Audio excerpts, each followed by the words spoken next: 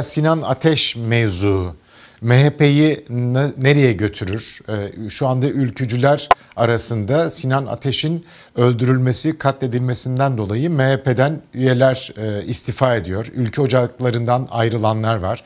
Bunu protesto etmek için sessizliği ve MHP'nin tavrını protesto etmek için bıyıklarını kesip videolarla bunu sosyal medyada paylaşanlar var. Sayı da epey fazla gibi gözüküyor. Ee, bunu nasıl değerlendiriyorsunuz? Sinan Ateş'in e, öldürülmesi, katledilmesi MHP'yi ve genel olarak da siyaseti nasıl etkiler? Bence çok önemli bir kırılma bu. Yani etkilerini uzun vadede göreceğiz. Hem MHP hem AKP açısından ciddi bir kırılma olabilecek bir şey. Her şeyden önce bunun yani ölenin, öldürenin kim olduğu önemli değil. Türkiye Cumhuriyeti vatandaşı ve Türkiye Cumhuriyeti yasalarına göre bir vatandaş öldürülmüş. Bunun sonuna kadar soruşturulması lazım. Her kim olursa olsun, ülkücü olsun olmasın veya bu Sinan Ateş değil de işte Tikkocu işte Mehmet e, Toprak olabilirdi. Hiç önemli değil. Yani Türkiye Cumhuriyeti'nde herhangi bir cinayet varsa, illegal bir şey varsa yargının sonuna kadar bunun üzerine gitmesini herkesin talep etmesi lazım. Burada da e, Sinan Ateş meselesi ucu çok siyasi konulara dokunan bir şey ama soruşturmanın ve yargılamanın siyasetten bağımsız yapılabilmesi lazım. Yapılabilir mi bu ortamda? Yargının bu kadar kontrol altında olduğu, Mümkün Erdoğan'ın, yani. iktidarın, bakanların hatta il teşkilatlarının bile hakimlere, savcılara talimat verdiği, iç içe oldukları bir dönemde çok hayati bu soruşturmanın bağımsız ve tarafsız bir yargıç veya savcılar tarafından yapılabilmesi çok mümkün gözükmüyor. Ama şanslı olan taraf şu, iyi olan tarafı şu. Kamuoyuna mal oldu bu. Muhtemelen e, MHP içinde bu meselenin planlandığı anlaşılıyor.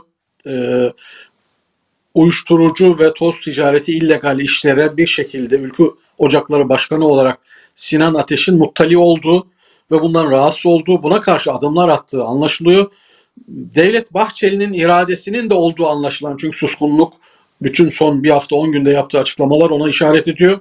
Yani adeta lisanı haliyle Devlet Bahçeli son 10 günde bu cinayetin arkasında ben ve partim var dedi.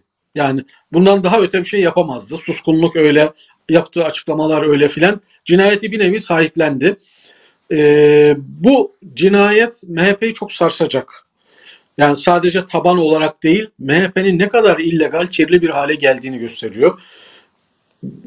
Erdoğan yani AKP iktidarı bunun üstünü örtmek isteyebilir aslında.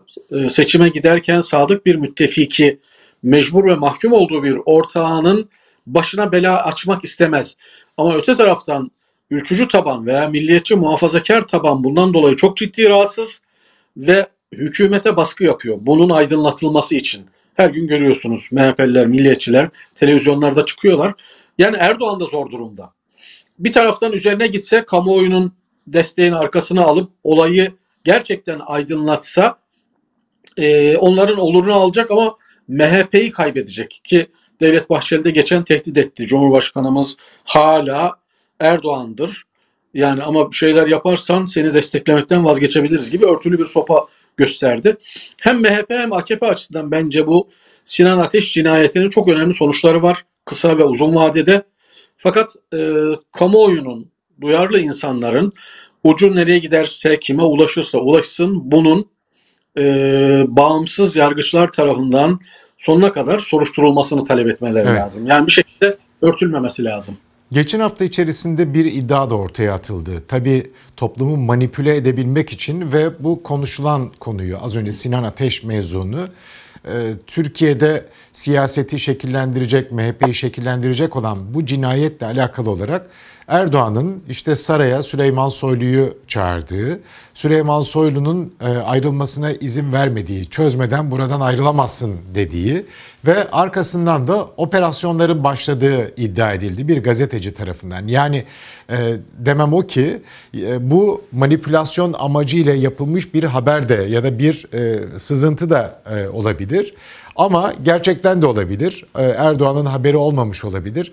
Ama bu cinayeti kimler işlettirdiyse MHP'yi dizayn etmeye çalışanlar ve de aynı zamanda AKP'ye ve MHP'ye gözdağı vermek isteyenler de olabilir deniliyor. Siz buna katılır mısınız? Yani Erdoğan'ın e, sonuna kadar git filan demesi çok mantıklı gelmiyor. Çünkü geçen hafta da kısmen konuşmuştuk bunu. E, Cuma günü oldu cinayet ve Cuma günden mü, mütakiben iki gün ki bu hani sıradan bir cinayet bile olsa bir açıklama yapar. Hiçbir yani, ses gelmedi yani. İçişleri Bakanlığı yapar, bir ilgili valilik yapar, Adalet Bakanlığı yapar. İki gün boyunca ne MHP'den ne de iktidardan, hükümet canından hiçbir açıklama gelmedi. MHP'den gelmedi çünkü onlar muhtemelen planlamadıkları bir şekilde böyle önlerinde buldular. Bunu daha farklı bir şey düşünülüyor olabilir. Onlar planladıysa bilmiyorum. Ee, AKP sessiz kaldı. Neden? Kendi en sadık ortaklarının üzerine gitmemek için açıklama yaptılar, yapmadılar. Yapsalar yani MHP'nin ses vermesini beklediler. Fakat netice itibariyle bu olay hem MHP'ye hem AKP'ye çok ciddi zarar verecek bir şey. Bir operasyon mudur? Yani siyasi bir dizayn çalışması mıdır? Bilemiyoruz şu anda meselenin perde arkasından haberdar değiliz. E, kimler var, nerelere ucu çıkacak, tetikçiler bile daha bulunabilmiş, teslim alınabilmiş değil. O tetikçileri azmettirenler kimler? Bunlara ulaşılması lazım. E, görünen itibariyle MHP içinde bir hesaplaşma. MHP'nin bu cinayetin arkasında olduğu zannını, kanaatini oluşturuyor. Daha ötesinde bir şey olabilir mi bilmiyorum ama tablonun bu noktasında MHP kendi kendini çok ciddi sıkıntıya evet. soktu. Erime sürecini hızlandıracak. Muhtemelen bu devam ederse AKP MHP'den vazgeçebilir.